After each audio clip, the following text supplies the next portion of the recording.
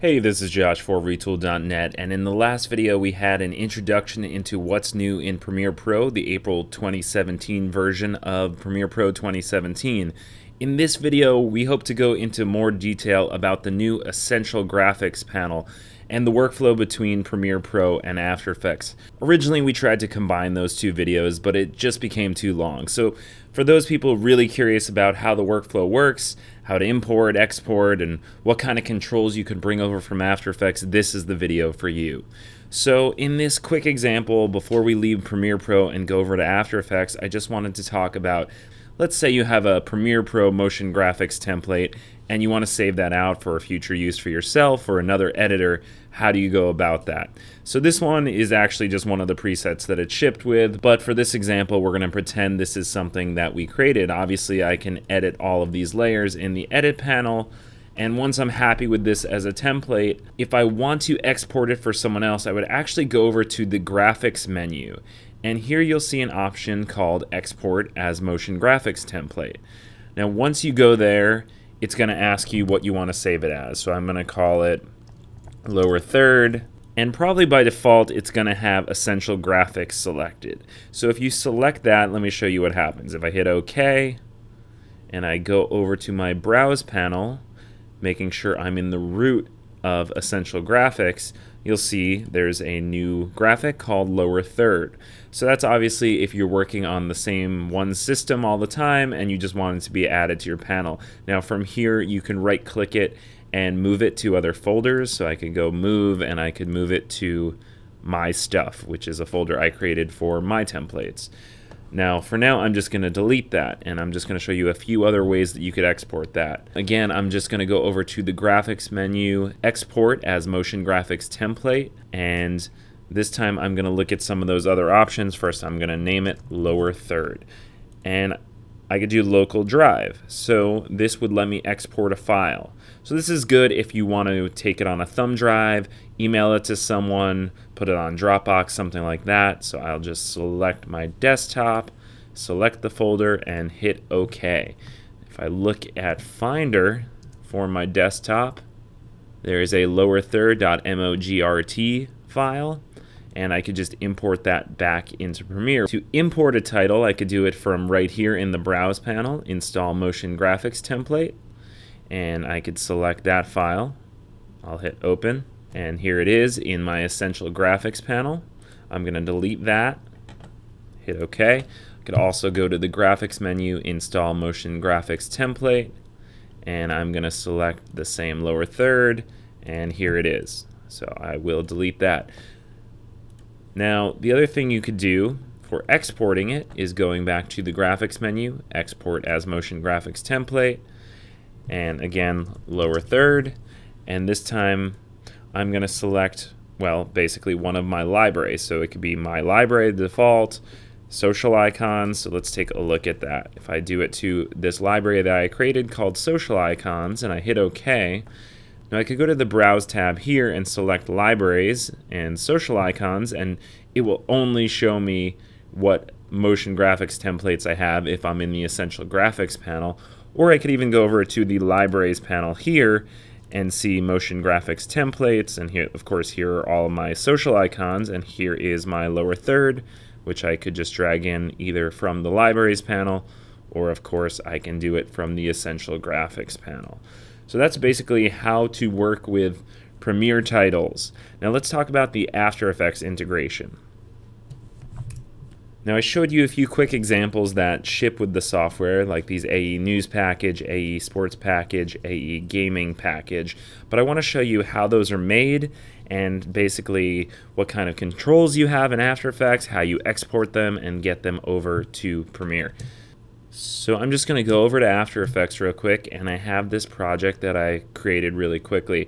Now it's just a really simple lower third, nothing fancy here, it's not very nice even, but I'm just going to show you how it was created and how the Essential Graphics panel, you'll notice there's a new Essential Graphics panel and workspace in After Effects as well, how it works in After Effects, how you can add various properties. So you can see things that I already added. So here's a layer called main text and its color. Here's subtext and its color. Now, The text itself is added via using the source text parameter.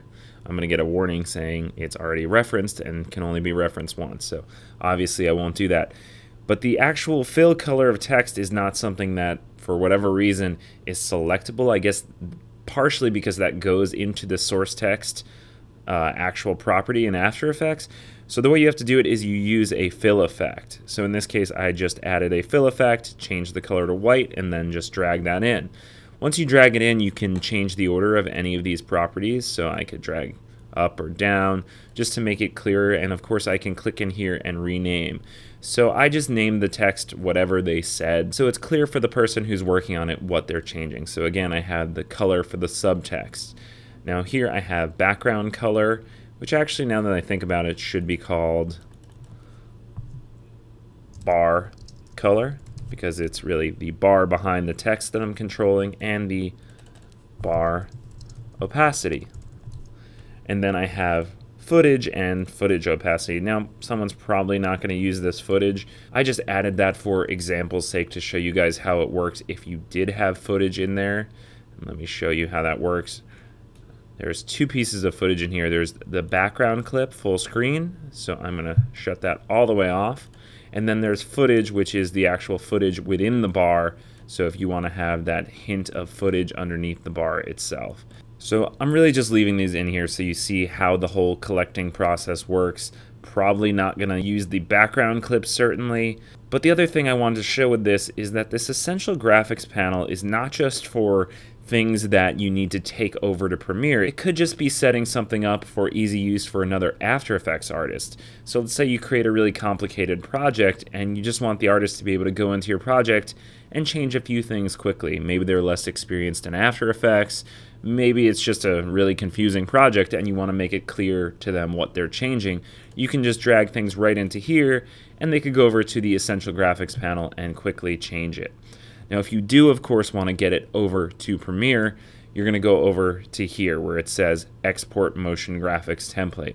Now, one thing you want to do before you do that is set a name. So I have this called Graphics Lower Third New. I'm going to change that just to Graphics Lower Third, and it's referencing the composition Graphics Lower Third. Now, you can reference pre-comps as long as whatever you're referencing is also in the comp that is being sent out to Premiere. So in other words, if I have a pre-comp that's not actually in use in this comp, it's not going to work. If it's just a comp that's in my project but has nothing to do with the actual thing that I'm sending over to Premiere, it's not going to work. I'll show you that real quick. So if I make a new composition and I call this pre-comp, and I'm just going to add a solid, and I'm going to add the effect fill and let's say I want to be able to change the color of the solid. If I drag this color property, and you have to do it from down here in the timeline, not up here in the effects control, that's something important to note. It's going to say property is unrelated to graphics lower third and will not affect rendering. So it will go in there, but you'll see it's outlined with this background here showing you it's really not relevant to your results.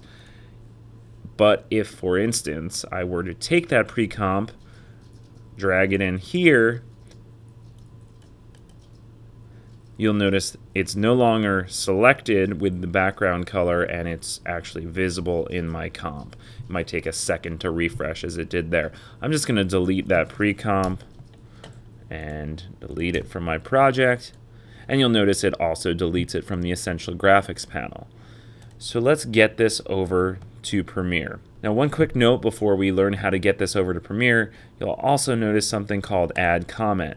And that is just for the editor or maybe it's for the other After Effects artist just to tell them some instructions. So in this comment, I'm just gonna write to have no full screen background clip set opacity to zero.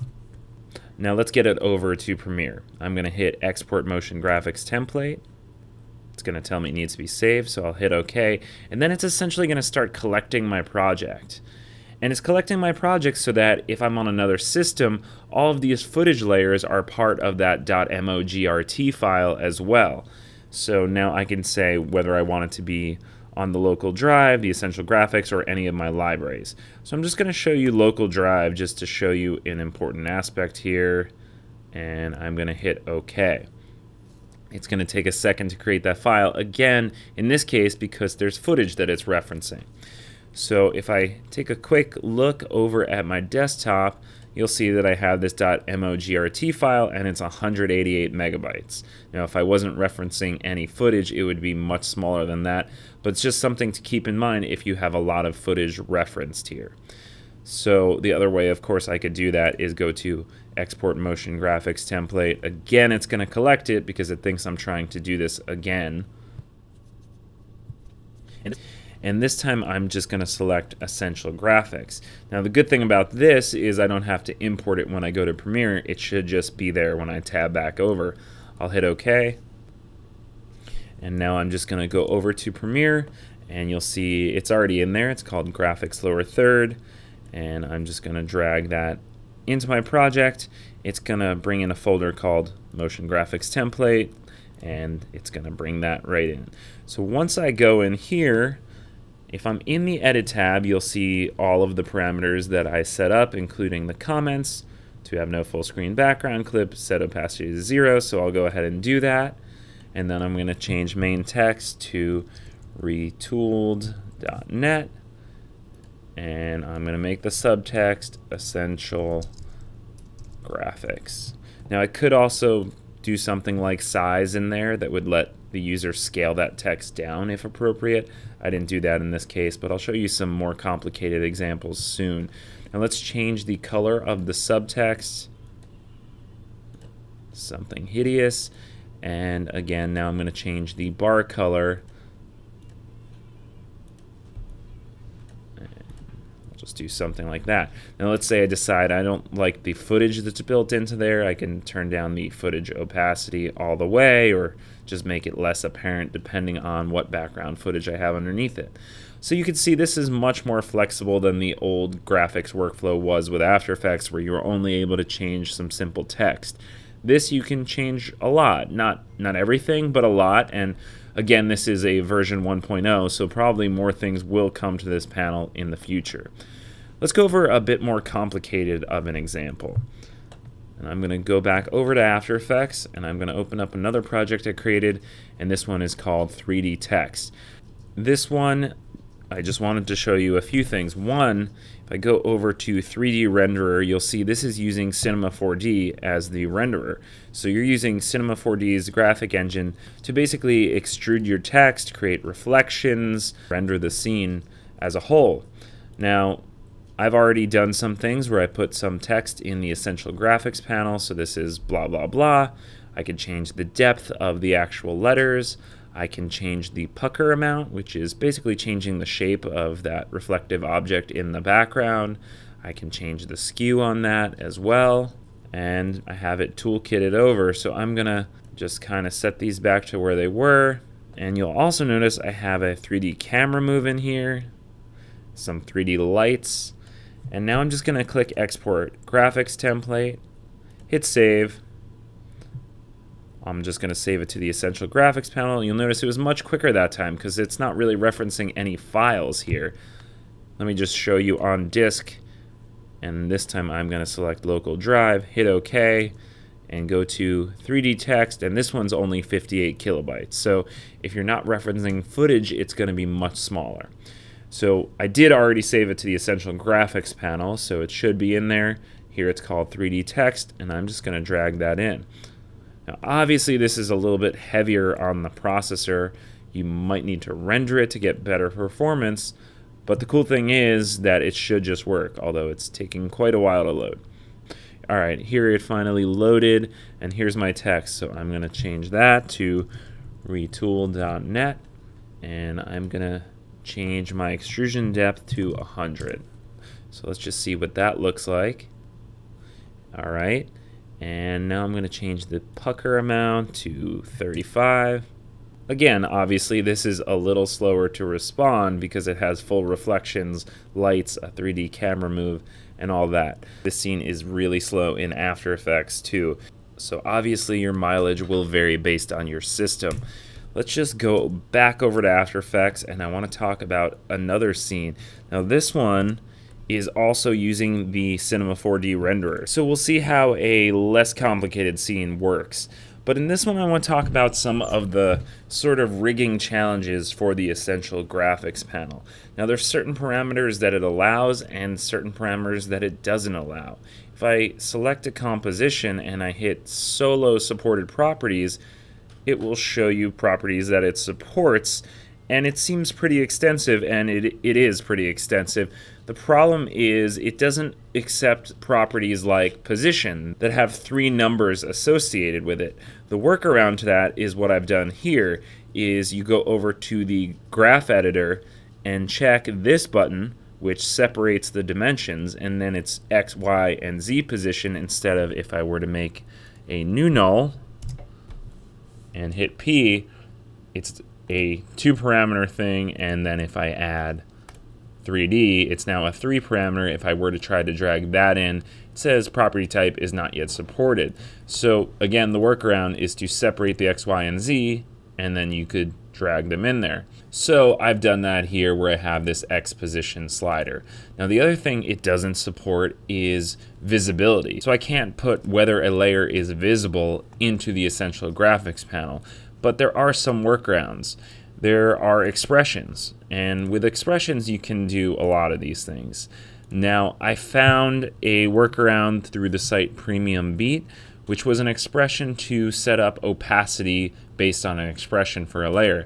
However, once I did it with opacity, I found this weird bug I was having with the Cinema 4D renderer and these social icons. So let me just show you what it is.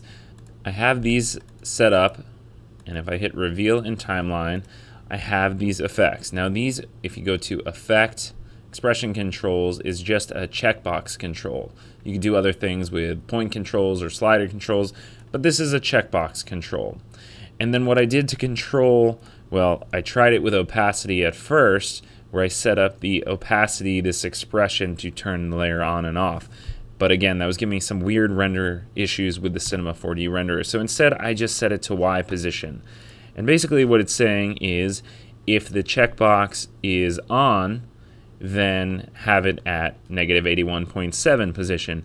If it's set to off, have it at negative 50,000 in position, which basically just throws it out of the comp window so we don't have to look at it anymore.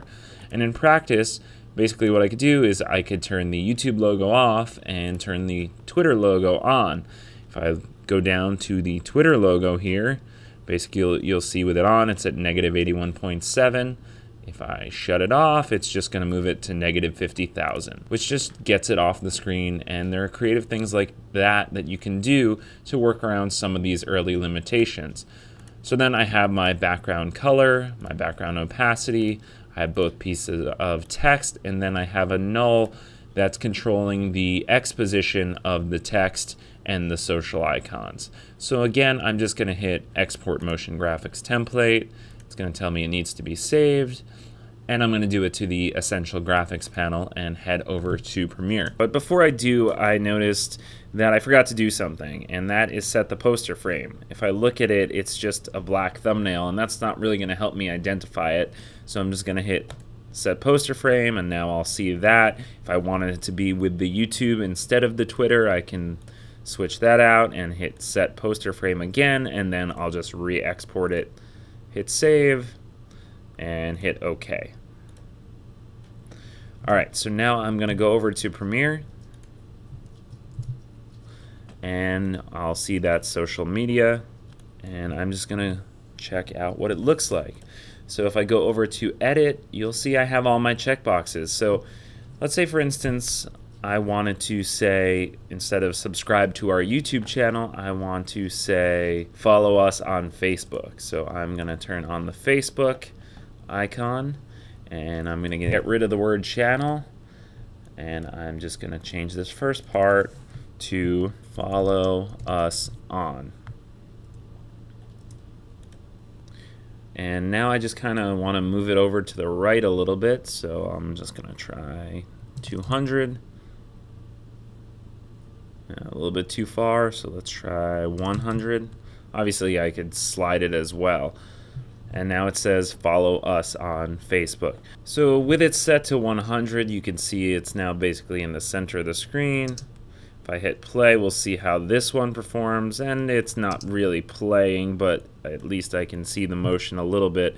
But let's try rendering this one out and see how it does. It's definitely a simpler scene.